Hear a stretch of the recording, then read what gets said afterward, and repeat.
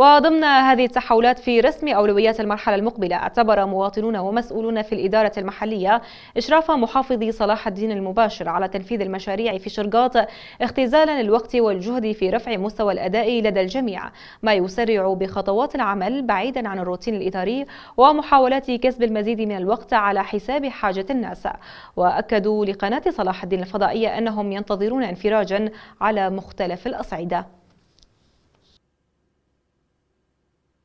بناء على توجيهات السيد محافظ صلاح الدين أثناء زيارته إلى قضاء الشرقاط ولاحظ وجود تلكؤ بأعمال الشركة المنفذة لتأهيل مشروع الشرقاط تأهيل الشارع الرئيسي لقضاء الشرقاط حيث قام بتوجيه التوجيه بسحب العمل من الشركة المنفذة كونها متلكئة وبطيئة وأوعز بتشكيل لجنة تسريع الأعمال تم رفع كافة التعارضات والتجاوزات والعمل مستمر بوتيرة جيدة ونشكر السيد المحافظ صلاح الدين على جهوده المبذولة ومتابعته المستمرة للأعمال المنفذة.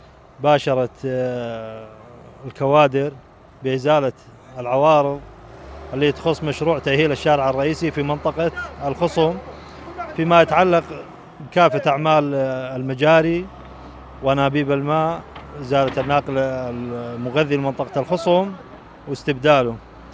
وصب مسارات أنبوب المجاري وفتحات المنهولات.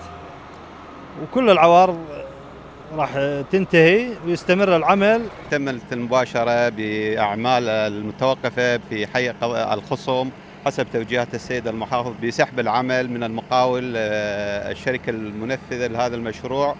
وإيقافه نهائيا عن العمل وتم المباشرة حسب ما تشوفون إن شاء الله بادرة خير لأهل الشرقاط وأهل المنطقة.